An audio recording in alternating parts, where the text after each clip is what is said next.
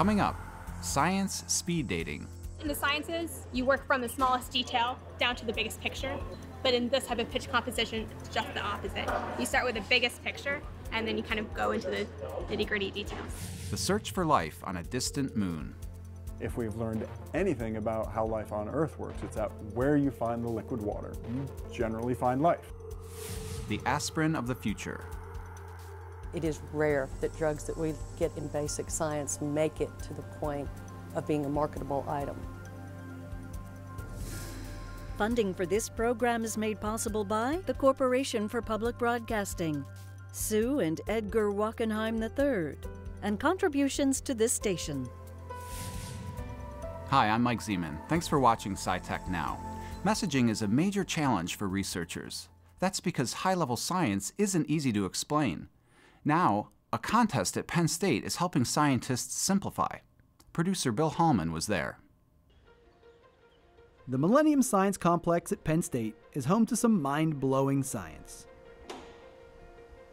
But if you don't live it and breathe it every day, trying to understand some of the work that happens here can leave you with a headache. That's why these Penn State grad students are attempting to turn years worth of research into a two minute pitch for the Millennium Cafe Pitch Competition. It's a big draw 36 contestants eyeing a $750 first place prize. But to get the cash, they'll need to convince the judges by coming up with a clear message about the importance and impact of their research. Something that doesn't come naturally. The fight against the evil society of greenhouse gases. Gotta stay tuned to find out. In the sciences, you work from the smallest detail down to the biggest picture. That's typically how you structure your scientific message. But in this type of pitch composition, competition, it's just the opposite. You start with the biggest picture, and then you kind of go into the nitty gritty details. The high pressure speed dating setup doesn't help either. Three, two, one, start. Take a quick look around, you'll notice different styles. From the casual coffee chat to superheroes. It may seem like fun and games, but a contest like this is all about molding the next generation of scientists and leaders. It's a great opportunity for students to develop um, skill sets in communications. Really, aside from uh, technical prowess, technical background, we find communication skills are critically important. You'll see some people that really rise to the top that have this natural talent that maybe was uh, even unknown to them. After the first round, scores are tallied and the top five are announced. Nerves are high. Please wait a second. But this is the finals. I'm a little bit nervous. Okay. Um, the pitches are finely tuned. If you could have an invisibility cloak, what would you use it for? And the best grab your attention from the very beginning. It's estimated that over 600,000 people will die from cancer this year. To fight this, I am creating personalized surgical tools to customize cancer treatment for each individual. A clear message with a real world impact front and center. For that, Brad Hanks walked away with the top prize. But like his pitch, he's focused on the big picture. I have to contribute some, at least to my wife. She helped me practice a ton, and uh, I have two little boys at home, so I'm sure it, some of it will go towards diapers and whatever else they need. The presence of ice and oxygen on Europa, one of Jupiter's four moons, could mean extraterrestrial life. Right now, NASA is simulating the moon's environment using chilled vacuum chambers.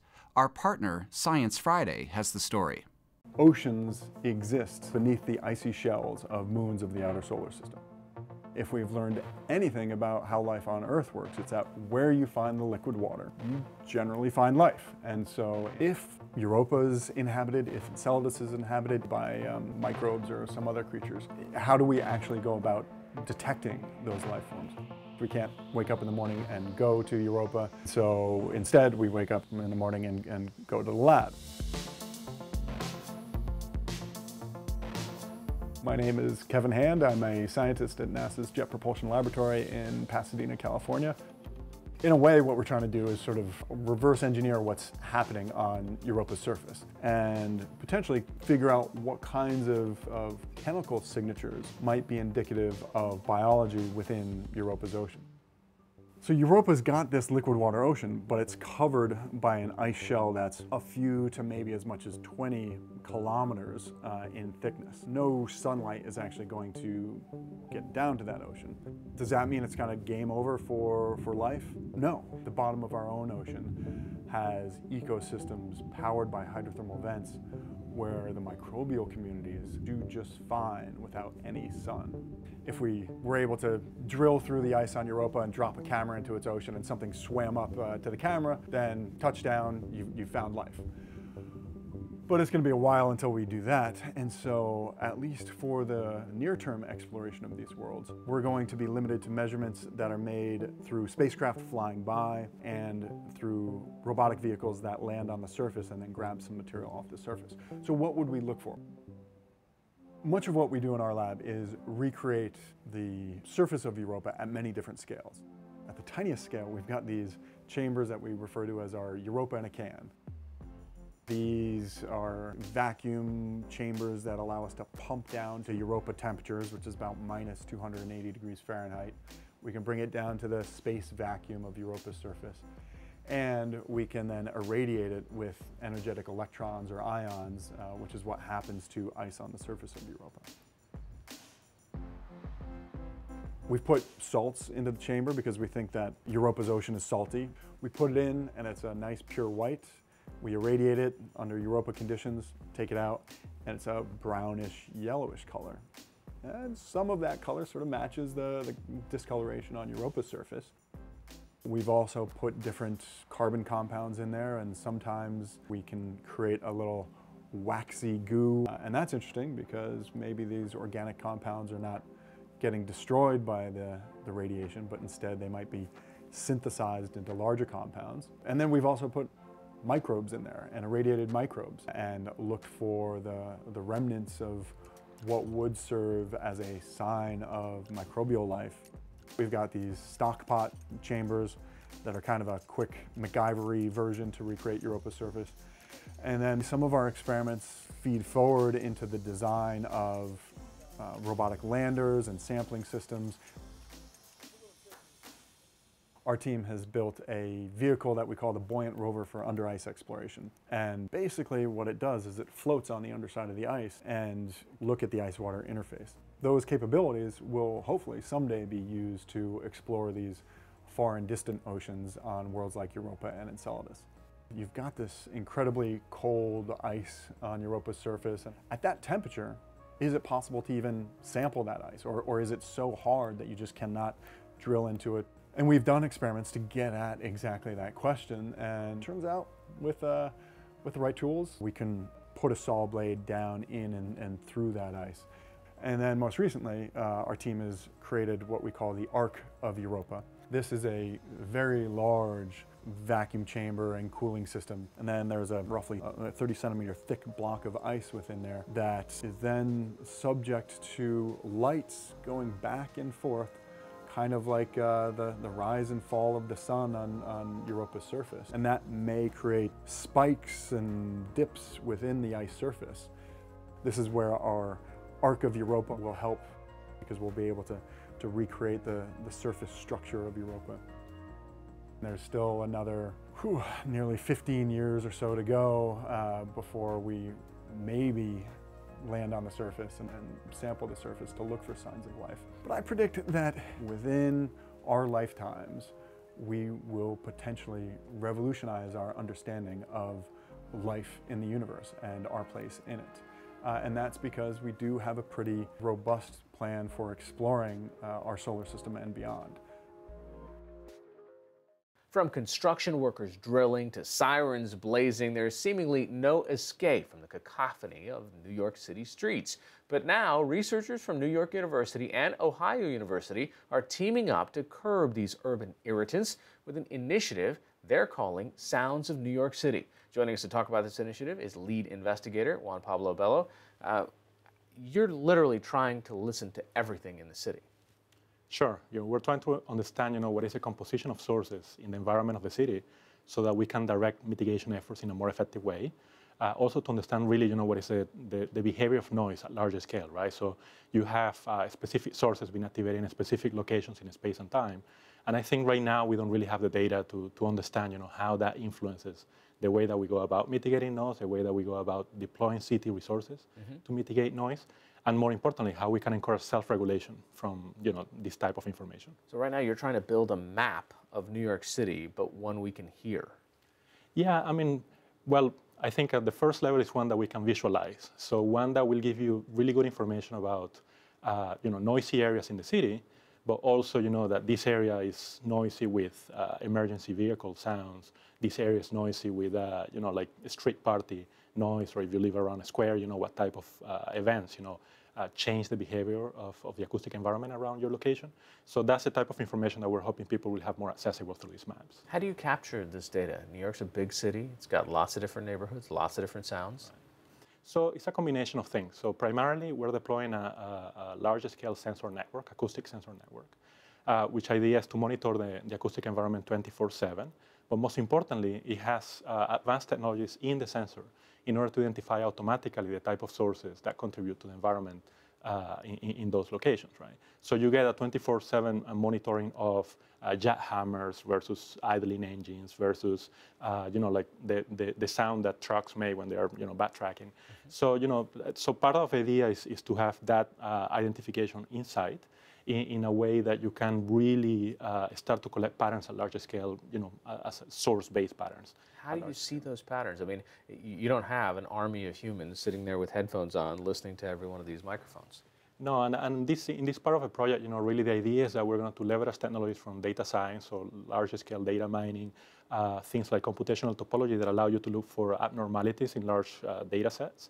Uh, so just to try to understand, you know, what is regular in terms of acoustic behavior, but also more importantly, what is irregular and what could be uh, attached to certain specific events in the city. So are these sensors picking up, uh, well, for you, noise, but for us, conversations? Well, no, the, the sensors are more uh, concerned, and we are more concerned with a source type. So the idea is that the sensor will tell you there is uh, speech here. Uh, it might even be able to tell you there is male or female speech in there or shouting, but it, we are not interested on conversational content, nor we have a technologies really to, to extract conversational content in noisy environments like the city. I mean, like the thing to understand here is that in New York City, you have hundreds of sources active in any given uh, location, right? So, so in this very adverse uh, situation, it's very difficult to get something like phonemes or words.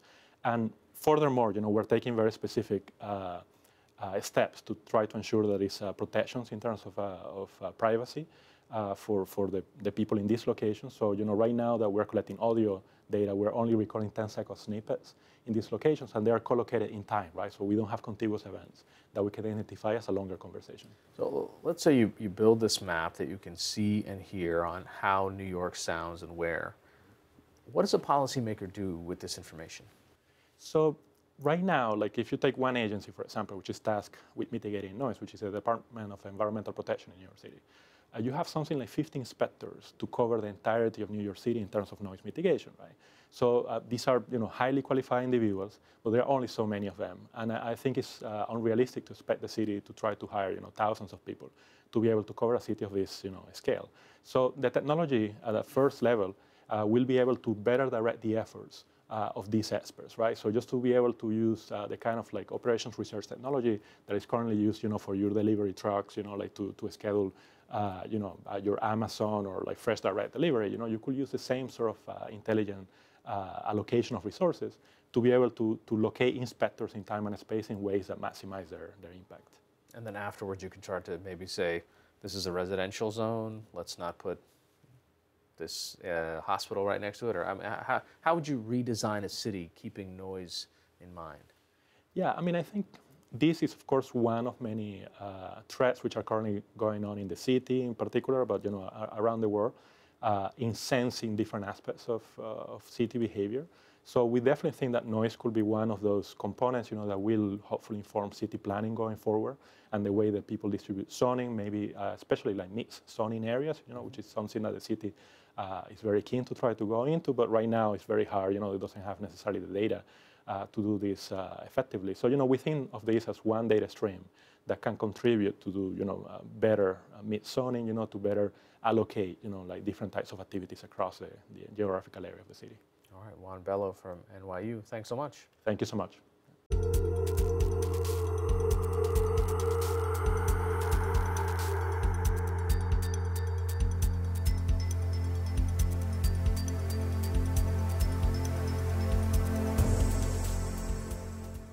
Science has been relying on the work of citizen scientists, ordinary citizens who aid with science research for centuries. Researcher Caren Cooper highlights the work of citizen scientists in her new book, Citizen Science How Ordinary People Are Changing the Face of Discovery. She joins me now via Google Hangout. Let's just get a definition of what is a citizen scientist. Well, a citizen scientist is someone who helps in scientific research. And it can be in so many different ways. It can be from someone sharing their bird watching checklist, someone monitoring their water quality, someone hooking up their computer to a distributed computing network, um, someone tagging butterflies. There's like, it can look so many different ways, so many different ways that people get involved in genuine scientific research that oftentimes where it's they're sharing information that collectively makes some big discovery. I remember in the 90s, I'm aging myself now, but the, the search for extraterrestrial intelligence had a screensaver that my computer could use the, the excess power. You know, that was a relatively passive experience. What are some projects that are happening today where people are actively contributing something for greater understanding? Well, let me start by saying there's literally thousands of citizen science projects out there. So really like anything someone might be interested in, any kind of species or or phenomenon, there is a project out there that's coordinating volunteers to study it and understand it better. Um, there's a lot of bird projects. Ornithology is a huge area in citizen science, um, just because people love birds. A, and that's some bias there because I'm an ornithologist. so that's my where I'm most familiar. Uh, there's projects with marine pollution. You know, map like finding marine debris, finding little nurdles, which are like little plastic pellets um, that are major pollutants. There's projects like following the phenology of spring, the timing of spring, like when when flowers bloom, when trees leaf out, that kind of stuff. Um, so some are really long-term projects to look at phenomenon over years. Um, something that one scientist like it could they could collect data with the help of volunteers over time frames that are longer than their own careers, really. Um, there's projects that are very large scale. It seems like there's also communities that are encouraging new scientific projects to emerge. I mean, I, I think of SciStarter similar to Kickstarter, where people are throwing up their ideas saying, here's how much, what I need in money and what I need in time. Yeah, SciStarter is a great uh, system for citizen science because, like I said, there's thousands of projects and it can be sort of overwhelming to sort of navigate this space when everything is changing so quickly. And so uh, SciStarter has sort of a project finder where people can search for projects based on their interest or their skills or what kind of activities they want to do or the location, you know, where they live. So it's great really at matching people and projects together. Is there a an attitude adjustment that's started to happen in the world of academia and science where not that they had their nose held up in the air, but you know there has always been a resistance. Well, I don't know the quality of the data. I don't know if I can trust this information coming from these sources. But now, when you see publications, peer reviewed journals starting to accept some of these, is that shifting? Yeah, it slowly is shifting, I think. I think everyone, scientists and even non scientists, often have that initial skepticism like, what? How could it be that people without any scientific training could actually help in real scientific research? But there is a lot of lay expertise, and it, it really can vary. Yeah, I have seen a shift in the scientific community um, toward people understanding um, a whole host of ways that we manage data quality and make sure that it's fit for the uses that it's that it's appropriate for. And yeah, I've been you know part of a, a, a movement to make that more prominent and to help scientists and others see that actually citizen science has been around a really long time it just hasn't always had that name. And so it's really gone unacknowledged. I mean, that was one of the main reasons why I wanted to write the book was that this this is like this great thing that's happening and it's so unacknowledged and undervalued and that it really should just be a household term. Scientific frontiers have advanced so far that some of them have kind of hit a point where in order to keep advancing, they need to collaborate not just with other scientists but with everyone like they actually need citizen science to answer the kinds of questions where the some of the fields are going you know i, I think back to farmers that have kept almanacs of their property and their crops year after year after year, and they've observed everything and they've cataloged everything meticulously, just like a scientist would. And I also, it, it also occurs to me that just looking up at the sky at night, I mean, astronomy is a field where people almost get to name a galaxy if they find it. Right. Yeah. Actually, one of the oldest uh, citizen science projects in this country is the Cooperative Weather Observer Network, um, run by NOAA, and and that started in about the 1880s. And it was it was farmers actually who volunteered to set up weather stations and report those data back. Um, and yeah, amateur astronomers, they're often called, um, yeah, are the ones that find comets and um, asteroids and stuff. And, and there's a lot of online citizen science where um, the whole project is exclusively run online. So it's not making like necessarily a new observation out in your neighborhood, but it's actually tagging or processing information that's either collected from automated systems or in some other way.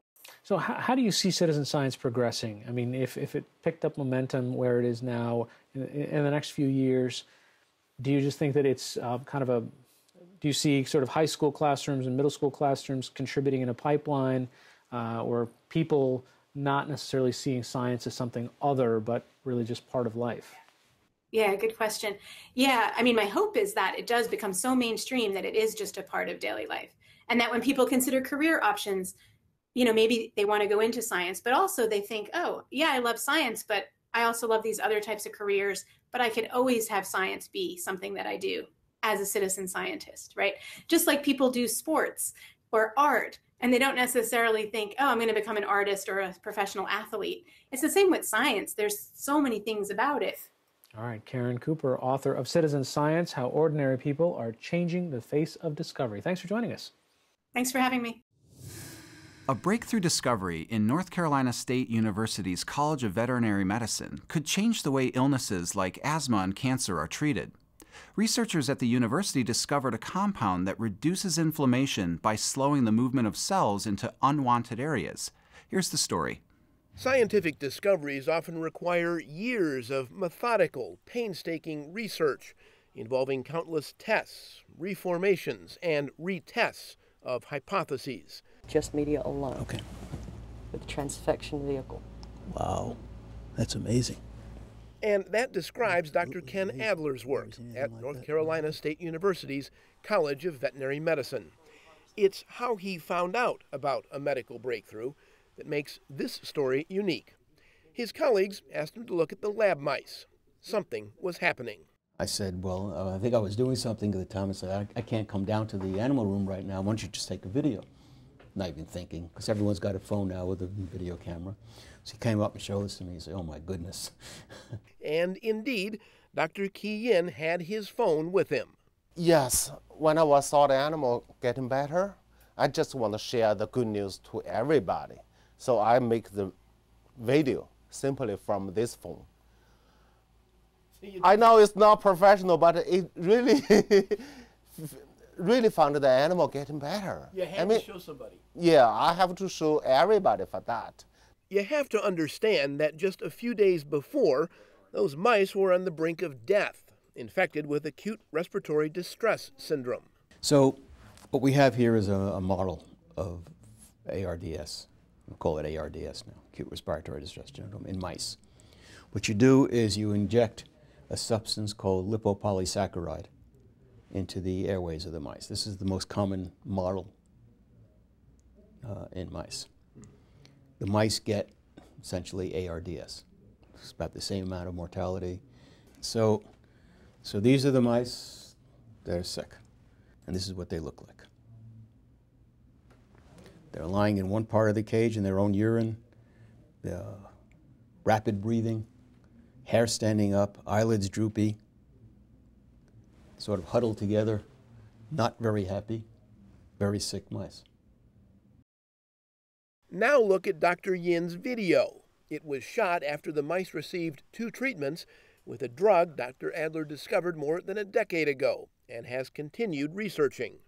Their eyes are bright, their hair is no longer standing up, all activity, breathing normally, moving around, happy.